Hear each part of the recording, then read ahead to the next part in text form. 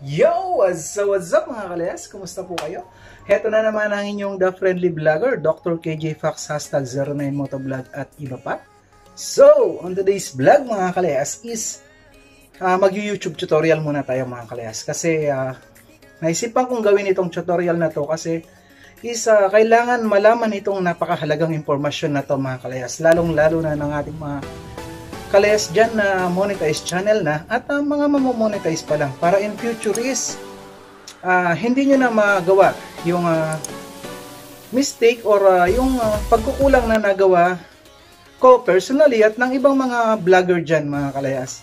Uh, ipapaliwanag ko sa inyo. Ang ating topic ngayon is kita nyo naman sa ating thumbnail dyan na paano nga ba mag-request ng uh, duplicate pin kapag ang iyong AdSense ay hindi pa rin dumating within 1 month. So, yan ang ating magiging topic ng ating tutorial ngayon mga kalayas. Pero, gusto ko lang sana nga ipaabot sa inyo ang isang napakahalagang mensahe na alam nyo ba na kapag pinadala na ni Google ang iyong uh, Google AdSense ang iyong PIN at hindi mo ito na-activate within 4 months, mga kalayas, nang uh, ipadala niya ito, is uh, mawawalan ng ads ang iyong mga video kapag monetize ka na, is bigla na lang siya mawawalan ng ads. Kapag hindi mo nagamit yung PIN na pinadala niya within 4 months. Starting dun sa date na uh, ipinadala yun sa'yo. For example, sa akin is, ipinadala sa akin yun nung uh, August 27. So, ang aking pagkakamali is, sinihintay ko siya kasi ang sabi doon is uh, within 2 to 4 weeks, darating yon. So, lumipas yung isang buwan, hindi ako nag uh, Hinayaan ko lang siya at sabi ko, hihintayin ko mag 2 months. Hanggang suddenly, meron akong isang napanood na isang vlog mga kalayas na naging nagpaalarma sa akin. At doon ko nalaman na ganun, ganun nga pala yon na kapag hindi mo na activate ang iyong uh, pin na yon within 4 months is bigla na lang tatanggalin ni Google ang iyong uh, uh, ads sa iyong mga video mga kalayas. So, ngayon, ang simple tip ko sa inyo mga kalayas, kapag Once na na-receive mo ang PIN mo, within 3 weeks at wala pa ito sa iyo, is uh, mag-request ka na ng uh, duplicate ng iyong uh, PIN mga kalayas. Para maging safe ka and then papadala yun ulit sa iyo, mag-email sa iyo si uh, Google AdSense gaya nito na sabi niya is pinadala niya ang iyong PIN sa ganitong date ulit. And then hantay ka uli ng another 3 weeks lang mga kalayas ha? huwag nyo nga hantayin yung 4 weeks After ng 3 weeks, the next day, hindi pa rin siya dumarating, request ka na naman ulit ng iyong panibagong PIN. So, meron tayo hanggang 3 times na makakapag-request ng ating duplicate PIN.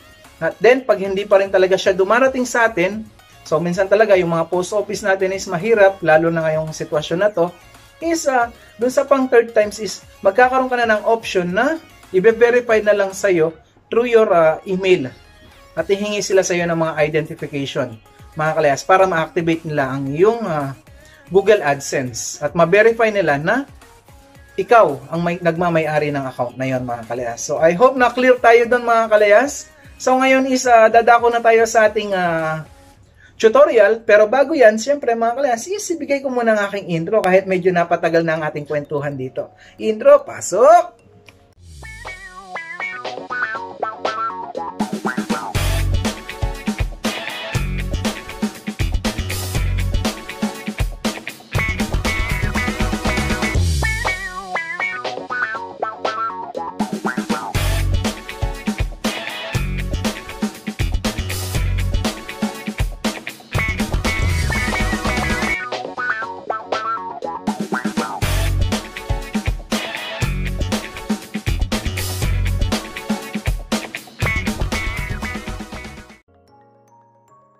What's up mga kalayas? Dumako na nga pala tayo ngayon sa ating uh, tutorial which is uh, nasabi ko na sa ating uh, before ang ating intro na ngayon is ituturo ko sa inyo kung paano nga ba mag-request ng PIN para sa iyong AdSense once na ito ay hindi dumating within 2 to 4 weeks nung ipinadala siya sa iyo ni Google AdSense mga kalayas. So, gaya ng aking nasabi na kapag ito ay umabot ng 4 months, is i-stop na ni uh, YouTube ang paglalagay niya ng ads sa iyong mga video kasi hindi mo pa siya nabe-verify mga kalayas. So, ngayon is uh, pupunta na tayo sa ating browser mga kalayas. So ako is mas ginagamit ko ang Chrome.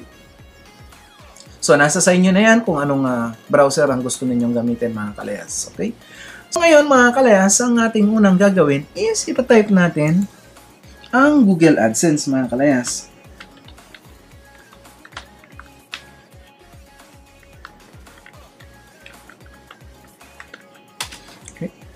Search natin siya. So, eto lang siya mga kalayas. I suggest na kung uh, sariling uh, PC mo naman yan or mobile, is gawin mo siyang uh, favorite mga kalayas. Okay? So, kita nyo sa akin is naka-favorite na siya. Click nyo lang tong star dito para maging favorite nyo siya mga kalayas. Para at least next time is hindi ka na nagsisearch palagi. Papakita ko lang sa inyo. So, para nandito lang siya lagi. Gaya ni YouTube, ni YouTube Studio. At uh, isang click lang is ma-access mo na siya. Ito siya mga kalayas. Okay? So, ngayon mga kalayas is makikita natin ang interface ng ating uh, Google AdSense mga kalayas. So, kita nyo naman, ito pa lang ang aking kaperahan. Okay, so medyo mabagal ang pag-akyat ng ating mga tulyares. Gawa ng uh, tayo isang uh, small YouTuber pa lamang mga kalayas. Okay? So ngayon is dumako na tayo sa ating uh, tutorial mga kalayas. Okay? Once na ikaw ay monetize channel na at uh, approve na ni Lolo, is ito ang iyong makikitang interface mga kalayas. Okay? So ngayon, ang gagawin natin mga kalayas is pag naipadala na ni uh, Google AdSense ang iyong pin mga kalayas is makikita mo to mga kalayas. Nakikita niyo itong to do. Okay? Meron siyang sinasabi na verify your billing address with mail you a pin on August 27, 2020. It should take 2 to 4 weeks to arrive. Verify your address by entering the PIN we sent to you, mga kalayas. Okay? Ngayon, mga kalayas, is umaabot aabot na siya ng almost 2 months, mga kalayas. It, lagi ako nagtatanong sa Pinas kung dumating na ba siya, is hindi pa rin siya dumadating doon, mga kalayas. Ngayon is na-alarma ako nung meron ako napanood na isang uh, tutorial na within 4 months pala is i-stop ni uh, YouTube ang yung mga ads or ni Google AdSense ang mga ads sa yung mga videos once na hindi mo na-verify ang iyong account.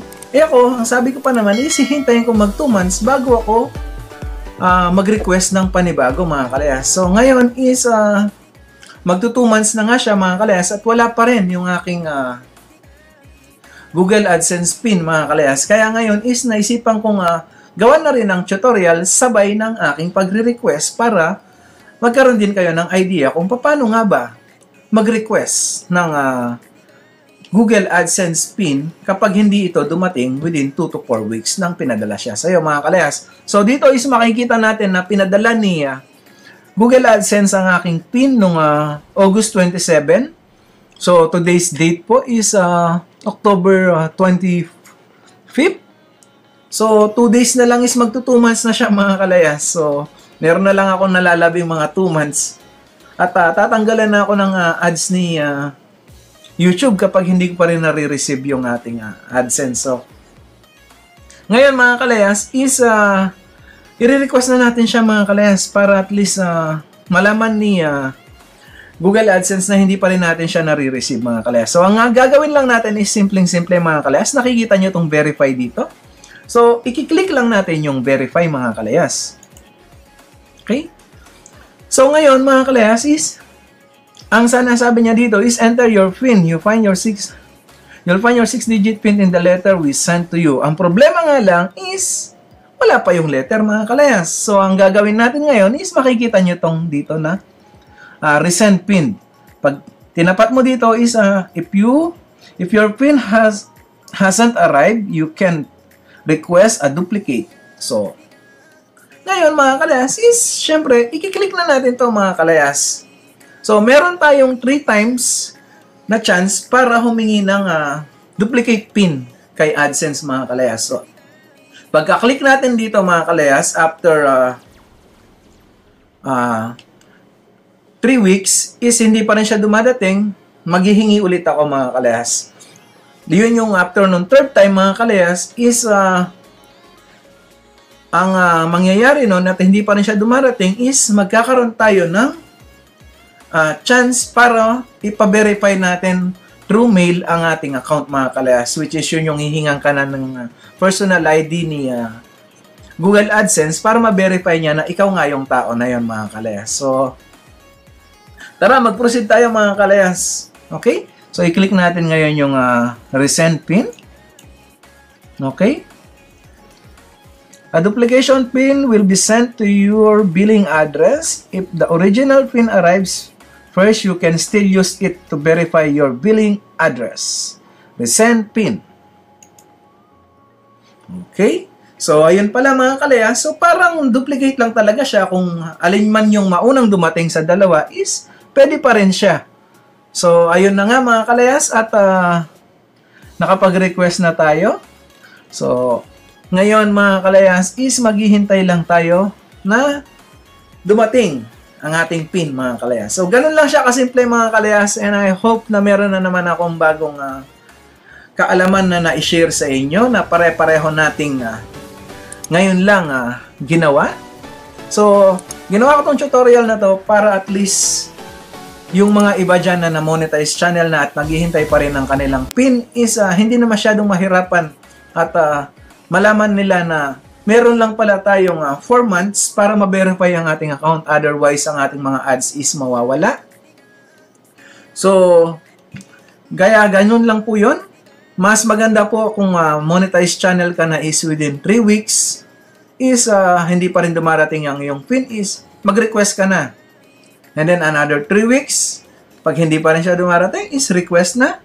And then, pag hindi pa rin siya dumating at talagang uh, medyo mahirap hanapin ang inyong address is from the third times is mag-request ka ulit para dun sa may fourth time niya is uh, i, uh, sasabihan ka na ni Google AdSense na pwede ka na mag-verify through uh, email at uh, hihingan ka lang niya ng iyong mga documents supporting IDs na para ma-verify na ikaw ang may-ari talaga ng account na yan mga kalayas. So, kung hindi ka pa nakasubscribe sa aking channel mga kalayas is baka naman subscribe ka na po dyan at uh, kalimbangin na yung uh, bell button dyan para maging updated ka sa ating ma mga tutorials dyan. At uh, meron din po tayong mga adventure vlogs dyan mga kalayas at mga unboxing ng mga kung ano-anong item. Especially po yung mga vlogging kit sana po is na-entertain ko na naman kayo mga kalayas until next vlog always keep safe This is your Dr. KJ Fox Hassel 09